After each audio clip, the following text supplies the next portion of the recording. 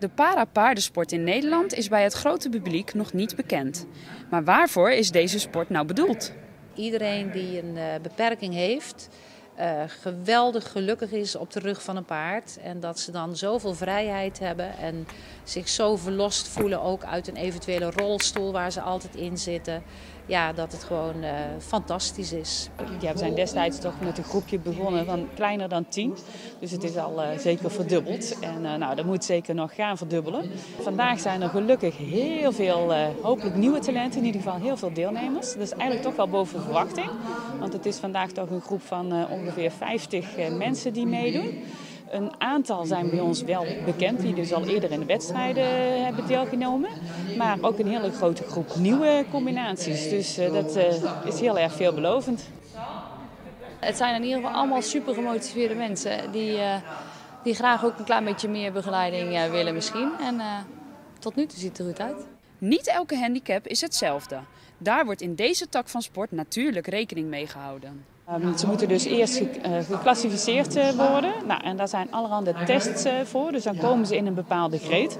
Greet 1 tot en met uh, 4. Voor greet 1 is het voor echt met de mensen met de zwaarste handicap. En greet 4 met de lichtste handicap. Maar greet 4 moet dan ook weer de moeilijkste proeven rijden. En greet 1 weer de makkelijkste proeven, relatief gezien.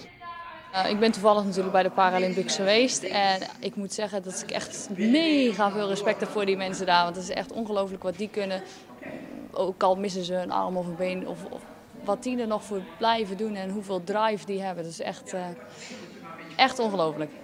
En het, het, gaat er dus steeds om, om, om, steeds meer mensen bij de sport te betrekken. En uh, daar wordt uh, zeker in de diverse commissies over nagedacht. En uh, ja, de Rabobank met de Rabo Foundation, die heeft daar natuurlijk al een hele goede aanzet toe gegeven. Ik hoop dat het steeds meer in de belangstelling komt natuurlijk. en het is gewoon ja, voortreffelijk om de minder bedeelde medemens te helpen.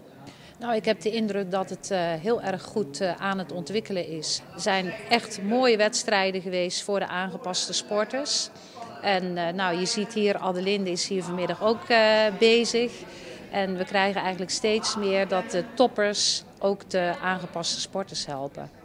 Het is wel een beetje wennen, omdat je natuurlijk met die handicap zit en dat je niet precies weet wat ze natuurlijk wel en kunnen en niet kunnen. Dat is een beetje aftasten, maar wel hartstikke leuk.